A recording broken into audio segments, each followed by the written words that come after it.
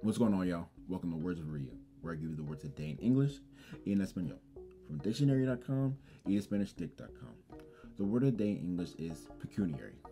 Pecuniary. It's an adjective that means of or relating to money.